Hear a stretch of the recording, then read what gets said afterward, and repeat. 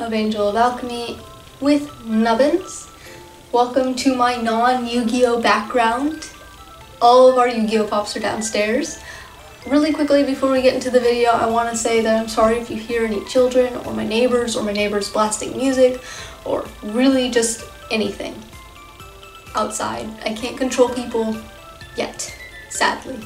Um, also, I'm sorry for the echo. I don't currently have any of those sound count, sound canceling foam design things for the wall yet. So I'm sorry if it's kind of echoey.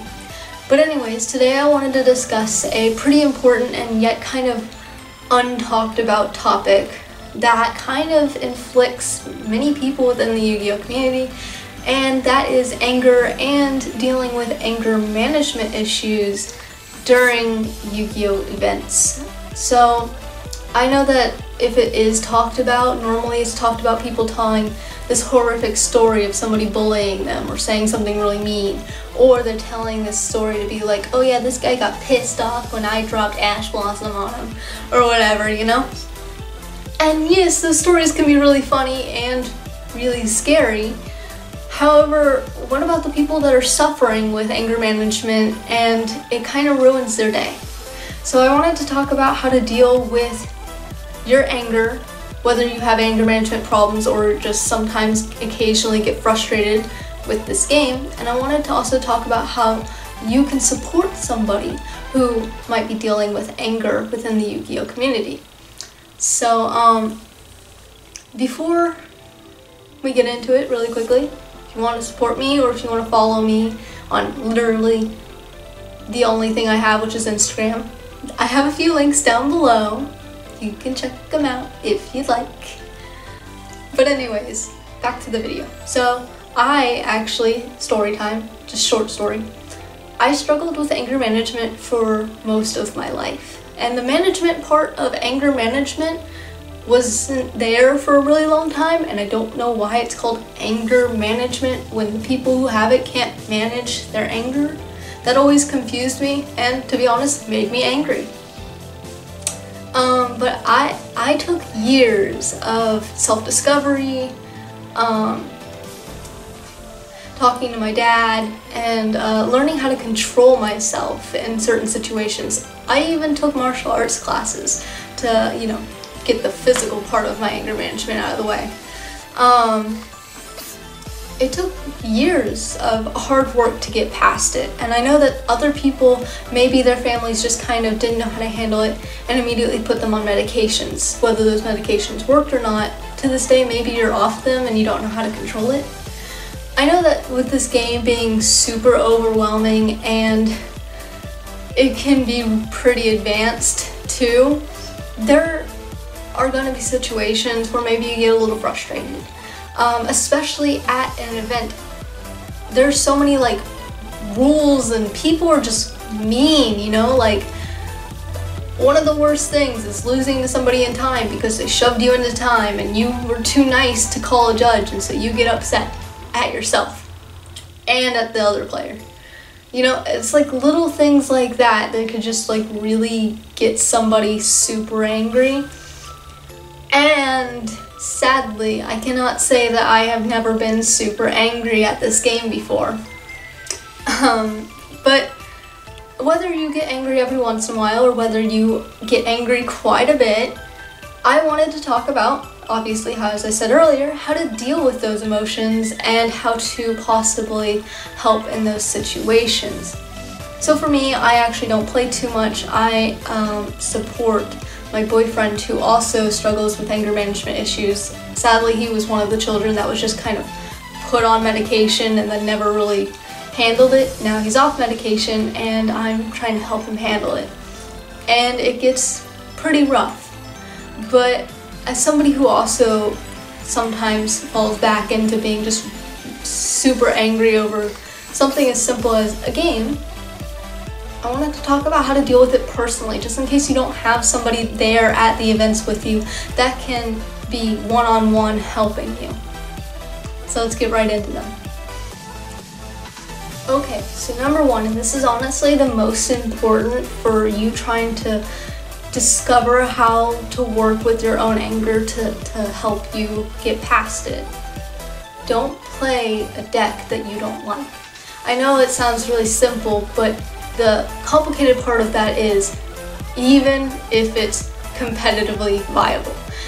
If it's a meta deck and you're playing it literally just to win, but you hate it, do not take it with you. And here's the reason why. Although you might win more, which might keep you happier, if you lose with a deck you don't like, you could potentially become pretty frustrated and angry. However, if you're playing a deck that you feel confident with and you enjoy, you're going to feel more proud about your wins. And on top of that, you're also going to look at your losses with less hatred. If you like hate dinosaurs or True Draco or hated Altergeist or whatever it was that you, you just didn't like, sorry to the people I listed those decks off and maybe you like them. But if you don't like them, don't play them. They might be good, you might know how to play it, but if you don't like it, you're not gonna be happy. The whole point of this game is to have fun. You're not even winning money. You're winning mats. Yes, you can sell the mats for money, and I think they actually stopped doing mats. I think they just do mouse pads now. I'm have to look into that. I think that might also only be for sneak peeks. I might just be crazy. But my point is, is that you're not you're not winning anything in the end. You paid money to go out there to have fun, right? So play a deck that you enjoy. Take something that you feel comfortable with with you. I know if you have a deck that is just one of those decks that no matter what happens, whenever you play it, you still enjoy the match, definitely take that. Yes, you have the potential of, oh, well, my favorite deck is this and I enjoy it and it's not competitively viable. But I've seen so many people say, this is my favorite deck, and they made it competitively viable. And if you enjoy the deck, why not give it your all? So, most important one that I kind of rambled on about. Do not take a deck that you don't like to an event. Ease your way into staying out of issues that could be potentially frustrating by enjoying what you're playing first and foremost. So Tip number two is a little silly. Bring water. I'm serious. Bring water and bring food. Okay, hanger is a real thing, trust me. I know it happens to me all the time. And if you're dehydrated, you might be a little more irritable. But here's the important thing about water. If you are getting really upset, your body starts heating up and things like that, if you gulp down a bunch of water, it takes you a moment to think about what you're going to say. So maybe you won't end up just spraying out a bunch of insults. Or if you do, maybe they'll sound a lot better than the first time you would say them, you know? So drink water, cool down, take a moment to think about what you might say or what you might want to do in the situation. Remember that if you go to events, you gotta be, you know, at least following the rules. And the rules say you can't punch anyone. Also, you're not supposed to curse at anyone either, technically. So tip number three is vent to friends or family, potentially. So I know that a lot of people travel to events with a group of people. Maybe next time you get angry, just walk up to them and vent about it.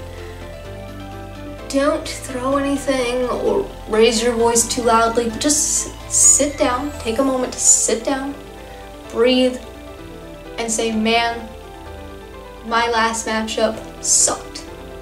Try your best not to curse. I think, uh, I guess tip number four now that I just thought of is set a goal for yourself. Uh, if you're going to an event and you normally sometimes get angry, even if it's just once, set the goal of I'm gonna try not to get angry. Or you can set it to be I'm gonna try not to curse. or it can be I'm going to try to speak friendlier to to every single person in my matches today, you know. Just simple little goals for you to do, try to accomplish, um, because at the end of the day, if you do them, you feel wonderful and it helps you improve. Um, tip number five, this one kind of relates back to venting with friends. Because, you know, obviously talking to your friends can help you a lot, especially if they hype you up.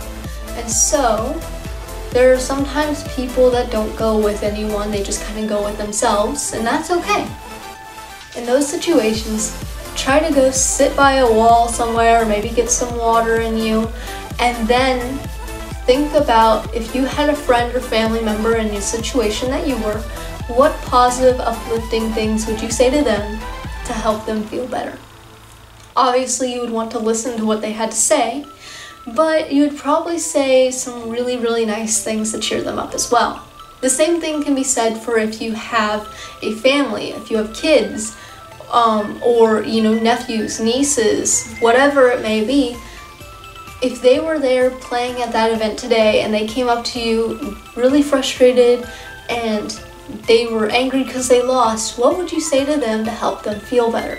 Sometimes, if you repeat those words to yourself in your head, or even just imagine a conversation of you cheering somebody else up, it can help you relieve a lot of stress. I know, because it was one of the things that I had to do to try to learn how to control my anger. So, um, those are my five tips on how you can handle it yourself. Obviously, there are other tips out there, and I would love to hear your tips down below in the comments if you have any. But those are a few of the simple tips that I have. Now to talk about how you can support somebody who may be having anger management issues or you see get frustrated at events a lot. So, I am the girlfriend supporter, so it might be different if you're supporting a friend. But um, first, what I do is I listen to them. Best thing you can do when anyone's upset or frustrated or sad is just listen to them. But I make sure to try to get them to sit down first. And if they don't want to sit down, I try to keep them standing still. Because if they pace around, it, most of the time, it just kind of provides like this energy that gets people angrier. If you notice when people, this is really rhythmic, if you notice when people pace, they normally start speaking at the same rhythm and then they get frustrated even more so than they already were before because they start overthinking about stuff.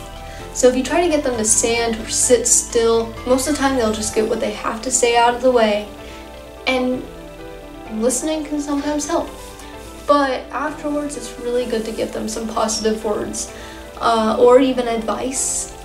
Some of the things that I like to say um, when my friends or my boyfriend comes up to me and they're angry after a match, I tell them that um, I think that they did amazing. Something as simple that as that can actually cheer somebody up because most of the time when people vent about their matches, they vent about like what they did with their cards or like what they could have done. So letting them know that they did a good job, even if somebody had the outs, can still like be encouraging. Just like letting them know it's like, hey, at least you remembered that play. I mean, you know, or whatever. Talk them up. Say that they did good. Um, even though it's really simple. keep waving nubbins around like do this. Another thing that I'll, I'll do um, is I'll listen to them talk about like what they want to possibly change about their deck. Because sometimes anger can help you improve. You can ask them about like their side choices and if they've liked them so far, what they're going to do with the, with the deck that they have, or if they're going to want to change decks. Sometimes that energy can be turned into really helpful, uh, constructive like thinking, you know, about like, hey, I'm gonna change this, I'm gonna be better, you know. Um, I also now I'm suddenly blanking on everything that I do because I don't write scripts for my videos. Um, well, I guess I should get one of them out of the way. One of the most important things that I do, and I know it sounds silly, if somebody bricked, or if they got a bad hand, or didn't see the cards that they needed, or whatever it is, um, or even if they just lost, sometimes I'll ask to see their deck, and I'll shuffle it for a while while I listen to them talk, and then I'll cut it for them and ask them to draw five. And a lot of the times they'll draw the five and they'll go, see if I had that hand. And um, then I'll do it again. I'll shuffle really quickly, cut the deck, ask them to draw another five. And if we get a consistent five in a row, deck has good luck again. Ta-da, all better. And normally, surprisingly, whenever that happens, they win the next few rounds every single time. I'm not sure why, but it works. Um, so basically, uh, sometimes if they say a hand is really good, I'll ask them to play it out for me too, because if they're if they're already worked up about like something, and then on top of that they see that hand that they should have had during a match, and they play through it, that helps like jog their memory of this is the plays I could be making, and that's the plays they end up making the next match. So I think, you know, just a simple test hand session can really help. But um, I like doing the whole shuffle, magically the deck has good luck again thing.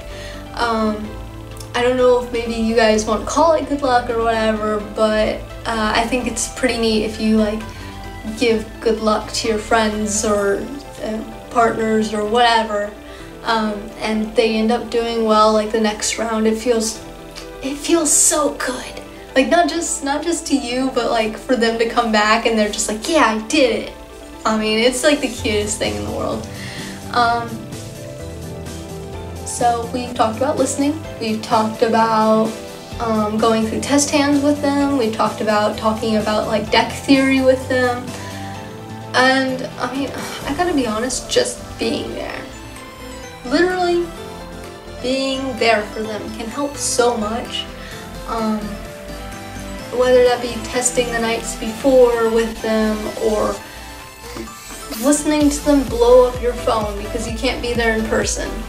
Uh, helping somebody and then reminding them that they, they did good is important. So let's say that your friend ends up yelling at people a lot or raising his voice or he calls the judge a lot or he or she, because girls play this game too.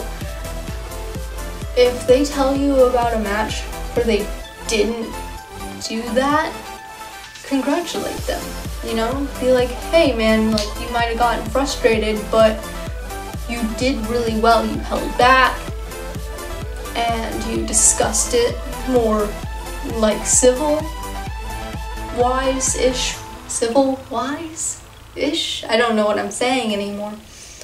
You discussed it civilly, is the word I wanted to say. I think just being there to support the people you care about is probably one of the most important things about this game. And um, obviously, there's tons of other ways to support them, such as, you know, bringing the water and snacks because other people forget them all the time. I'm I bring the snacks all the time because everyone else gets hungry and I'm there with Cheetos and Doritos and chips and stuff. So anyways, I'm sorry I kind of rambled on a little bit, just a tad, and um, for any sounds you might have heard and the echoing and all that good jazz. But I really thought it was kind of important to dig into the anger that like is underlying in this community because even though it's not just at events, it's also online as well, um, or you know, just even in casual duels against people you know that are your friends. Sometimes you get angry at them too. I think it's really good to like talk about that and to try to like help each other and support each other and try to, you know, this game is supposed to be fun. I don't know if I mentioned this before or in one of my first takes that I did. Um, one of the worst things about this game is whenever you're doing pretty well and you're having a good day and somebody brings you down because they're upset. And it might not even be they're upset about something you did, it could be them getting overly angry at you because you had the outs or they had a really bad hand. It could be something as simple as that. And another really, really bad thing about this community, even though I love this community, is that there are there are people that will sit across from others with a smile as they make fun of them, you know, and be like, "Oh, you played a good game" and stuff like that. When in actuality, the person with the smile is cheating and driving them into time and questioning every single card that comes on the field and like, you know, very obviously stalling. And then they're like, "Oh, well, I won. I got lucky. Oh, good game." Oh, gosh. Those people who, you know? but um I think I think this community has a lot of potential and I think that um, something as, as simple as somebody having a bad day or somebody not necessarily knowing how to control themselves um, whenever they have a bad match it shouldn't be a reflection on all of us as a community and it shouldn't be a reflection on somebody in particular either because you never know what somebody is struggling with. I think uh, if we're there to support each other, um, things can get better. So as I mentioned before, I obviously did not mention everything. Um, so if you would like or have any suggestions to those that possibly may be struggling with anger, um, and it's not something like, well, they should just get good or whatever, please drop them down in the comments below. Really quickly, one that I just remembered and forgot before. Something else you can do is bring something that can help you relax, such as like a picture of your family or stress ball if it works for you, I guess. Um, I bring nubbins with me places, everywhere, so it doesn't no one can make fun of me because they're so used to seeing me with him. Um, you can bring a sketch pad if you draw. You can um, play a game on your phone, like one of those little growing plant games. Anything that can help you calm down and relax for a little bit um, could be uh, help, obviously. But like I said, this video has dragged out long enough. Um, sorry, I'm a nervous wreck. It's been, like I said, it's been a while since I've been in front of the camera. If you'd like to support me, links down below, and I will hopefully see you in the next one. Bye!